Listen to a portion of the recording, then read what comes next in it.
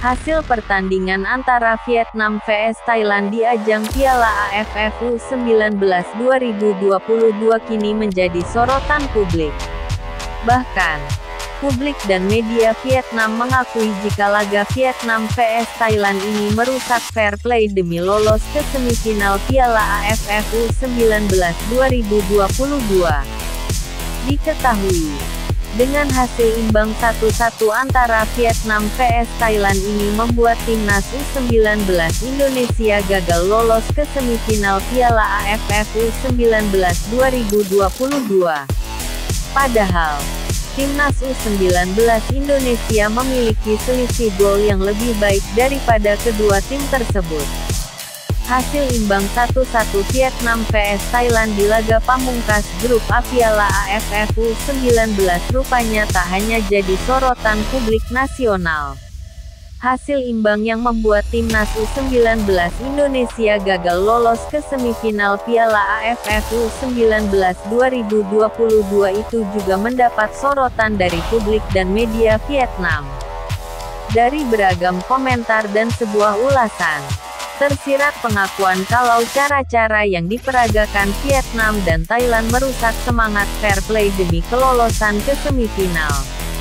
Timnas U19 Vietnam berhasil melaju ke semifinal Piala AFF U19 2022 setelah mereka mendapatkan hasil imbang 1-1 melawan Thailand.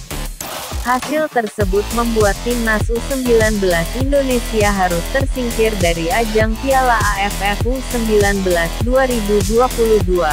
Meskipun Garuda Nusantara mengumpulkan poin yang sama dengan Vietnam dan Thailand, 11 poin. Berdasarkan regulasi Piala AFF, urutan klasemen jika tim memiliki poin yang sama, maka selanjutnya akan dilihat berdasarkan head-to-head -head tim tersebut. Timnas U19 Indonesia kalah head-to-head dari kedua tim. Pasalnya Garuda Nusantara hanya bermain imbang 0-0 saat menghadapi Thailand dan Vietnam. Sama seperti masyarakat Indonesia. Ternyata ada media Vietnam yang menyatakan bahwa timnas mereka bisa saja menang tetapi mereka tidak melakukannya untuk mengamankan peluang lolos ke semifinal Piala AFF U19 2022. Begitu juga dengan Thailand. Mereka tidak mau mengejar para pemain Vietnam karena juga sudah memastikan lolos. Di 15 menit terakhir, Vietnam hanya melakukan operan bola balik di kandang sendiri.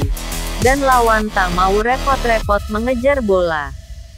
Vietnam bisa saja menyingkirkan Thailand daripada Indonesia. Jika mereka memanfaatkan peluang yang lebih baik di pertandingan terakhir penyisihan grup. Petik 2. Bahkan menurut media Vietnam itu, kedua tim tidak begitu banyak menciptakan peluang. Malah jumlah pelanggaran kedua tim begitu banyak. Tetapi wasit tidak memberikan peringatan keras pada para pemain. Jumlah peluang berbahaya yang diciptakan kedua tim tak lebih dari jumlah baku hantam di lapangan.